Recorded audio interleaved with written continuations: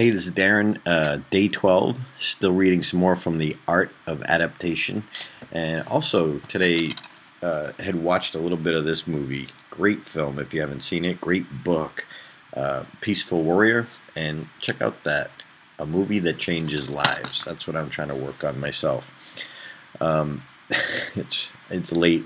This is one of those days that I just do the bare minimum.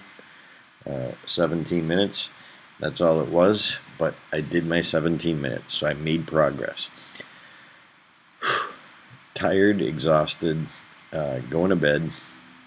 It was a long day, but had to get the 17 minutes in because of you and uh, because I know people hold me accountable.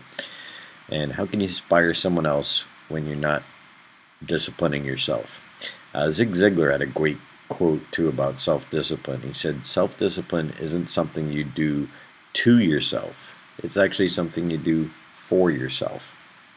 I like that.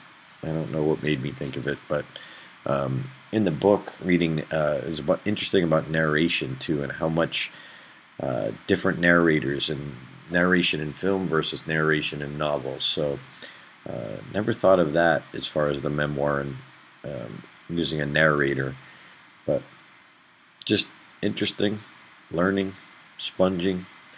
Anyway, so I'm 17 minutes closer. How about you?